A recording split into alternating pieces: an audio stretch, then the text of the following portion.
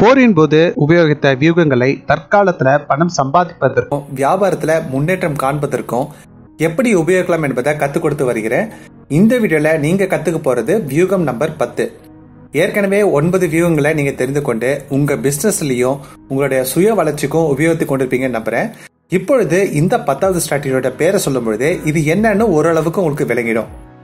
Hide dagger behind the smile இதுதான் நீங்க கத்துக்க போகிற பத்தாவது ஸ்ட்ராட்டஜி இதுக்கு லிட்டரலா தமிழ்ல பொருள் எடுக்கணும்னா உங்க புன்னகைக்கு பின்னாடி பொருளை மறைச்சிருங்க அப்படின்னு சொன்னா ஓரளவுக்கு கெஸ் பண்ண முடியுதுல? இது கேட்க நம்பிக்கை துரோகம் மாதிரி தானே இருக்குன்னு தோணும். எஸ் அதே தான் இந்த ஸ்ட்ராட்டஜியை அந்த காலத்துல சீன மன்னர்கள் எப்படி யூஸ் செய்தாங்கன்னு ஒரு இன்ஸ்டன்ட் சொல்றேன். அதன் பிறகு எத்திக்கலா எப்படி நம்ம பிசினஸ்லயும் உபயோகிக்கலாம்னு சொல்றேன். இப்ப ஆரம்பிப்போமா? அந்த காலத்துல தன்னோட ராஜ்யத்தை விரிவாக்குறதுக்கு ஒரு நாட்டு ராஜா இன்னொரு நாட்டு இளவரசிய கல்யாணம் பண்ணுவதெல்லாம் எல்லாருக்கும் தெரிஞ்சது தானே ஆனா வூ நாட்டு ராஜா கொஞ்சம் அட்வான்ஸா யோசிச்சாரு. அவருக்கு ஹூ நாட்டை கைப்பற்றணும்னு ஆசை. அதுக்கு அவங்க மேல டைரக்டா தாக்குதல் நடத்தாம தன்னோட மகளை ஹூ நாட்டு இளவரசருக்கு கல்யாணம் செய்து வைத்துறாரு. பாக்குறவங்களுக்கு தன்னோட நட்பை வெளிப்படுத்துவதற்காகவே தன் மகளை கல்யாணம் செய்து வச்சாருன்னு கருதப்பட்டுச்சு.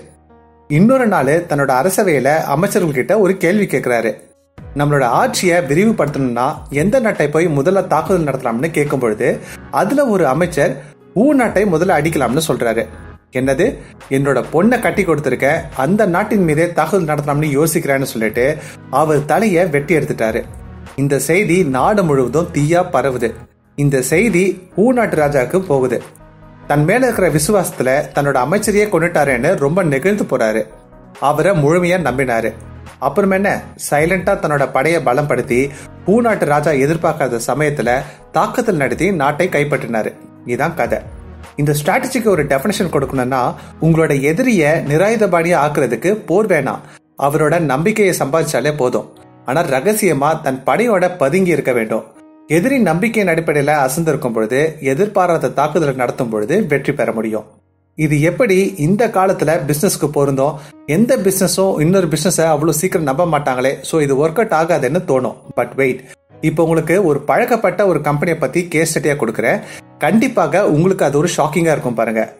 நம்ம சேனலில் ஃபாலோ பண்ணுறவங்கள டூ கே கிட்ஸ் நிறைய பேர் இருக்கீங்கன்னு நினைக்கிறேன். உங்ககிட்ட ஒரு கேள்வி கேட்குறேன் ஏதாவது ஆன்லைன் சர்ச் பண்ணி தாங்க அப்படின்னு கேட்டால் முதல்ல கூகுளுக்கு தானே போவீங்க. கூகுள் சர்ச் இன்ஜின் தானே முக்கால்வாசி பேருக்கு தெரியும். ஆனால் எங்களை மாதிரி முன்னாடி ஜென்ரேஷன் ஆளுங்களுக்கு தெரிந்த சர்ச் இன்ஜினில் யாகுவும் ஒன்று ஆரம்ப காலத்தில் யாகு தான் மிகப்பெரிய சர்ச் இன்ஜின் ப்ரொவைடர் அப்போ யாகுவோட மற்ற போட்டியாளர்னு பார்த்தா அல்டா விஸ்டா ஆஸ்டீவ்ஸ் போட்ட சர்ச் இன்ஜின்ஸ்ல தான் இருக்கும். கூகுள் எல்லாம் அப்போ பிக்சர்லேயே கிடையாது. அந்த நேரத்தில் யாகு ஒரு ஸ்ட்ராட்டஜிக் ஷிஃப்ட் பண்ணணும்னு நினைக்கிறாங்க. ஒரு ஆன்லைன் மீடியா கம்பெனியாக உருவெடுக்கலாம்னு முடிவு பண்ணுறாங்க அது எதுக்காகனா ஆன்லைன் அட்வர்டைஸிங்கில் அதிகப்படுத்துறதுக்காக. அதனால சர்ச் இன்ஜின் சர்வீஸில் கவனம் செலுத்தாம கூகுளுக்கு அவுட் சோர்ஸ் பண்ணுறாங்க அப்போ கூகுள் ரொம்ப சின்ன கம்பெனி ரேங்க்ல மற்ற சர்ச் இன்ஜின் கம்பெனிஸை விட கம்மி தான் கூகுள் யாகுக்கு பார்ட்னராக கூடவே இருக்காங்க. கூகுளை ஒரு பெரிய ஆபத்தாகவும் யாகு கருதலை. காரணம் சர்ச் இன்ஜின்ல இருந்து வரக்கூடிய லாபம் கம்மி தான் ஸோ கூகுள் ஒரு பெரிய விஷயமா படலாம் அவங்களுக்கு இப்போதான் கூகுள் அடுத்த ஸ்டெப்பை நோக்கி போறாங்க. நம்ம சேனல்ல நிறைய ஆண்டர்பிரினர்ஸ் இருக்கீங்கன்னு தெரியும். நீங்க இந்த ஆட்வர்ட்ஸ் எல்லாம் கேள்விப்பட்டிருப்பீங்க கரெக்ட் நம்மளோட வெப்சைட்ல கூகுள் ஆட்ஸ் போஸ்ட் பண்ணி மற்றவங்க அதை கிளிக் செய்தால் நமக்கு காசு வரும். கூகுளுக்கு அட்வர்டைசர்ஸ் பே பண்ணிடுவாங்க கரெக்ட் இந்த பேப்பர் கிளிக் மாடலை கூகுள் அறிமுகப்படுத்தினாங்க. செம ஹிட்டு யாகு கிட்ட இருந்தே நிறைய ஆன்லைன் அட்வர்டைசர்ஸ் கூகுள் பக்கம் நோக்கி நகர ஆரம்பிச்சாங்க. அவ்வளவுதான். யாகு கூகுளோட கான்ட்ராக்டை உடனே டெர்மினேட் செய்தாங்க. ஆனா ரெண்டாயிரத்தி ஆறு அப்பெல்லாம் கூகுள் பாதி மார்க்கெட்டை டாமினேட் செய்ய ஆரம்பிச்சிட்டாங்க. இப்போ ஆட்வர்ட்ஸும் தாண்டி இந்த யூடியூப்லயே ஆட்ஸ் எவ்வளோ வருது பார்த்தீங்களே இப்போ எல்லாம் கூகுள் இல்லாம டிஜிட்டல் உலகமே கிடையாது என்ற நிலை வந்துடுச்சு. கரெக்ட் ஆனா அவங்க என்ன பண்ணாங்க? கூடவே ஸ்மைலிங் ஃபேஸோட யாகு கிட்ட இருந்து சந்தர்ப்பம் வரும்பொழுது சரியா பயன்படுத்திக்கிட்டாங்க. நீங்க ஒன்று நோட் பண்ணீங்கன்னா கூகுள் அன்எத்திக்கலா எதுவுமே பண்ணல. கரெக்ட் யாகுக்கு தர வேண்டிய சர்வீஸை கரெக்டாக தான் தந்துகிட்டு இருந்தாங்க. அதே சமயம் அவரோட வளர்ச்சிக்காக சந்தர்ப்பம் வந்த பொழுது பயன்படுத்திக்கிட்டாங்க. ஏன்? உங்களுக்கோ இல்ல உங்களுக்கு தெரிந்த நபருக்கோ இது நடந்திருக்கலாம். கையில காசே வச்சிருக்க மாட்டாங்க.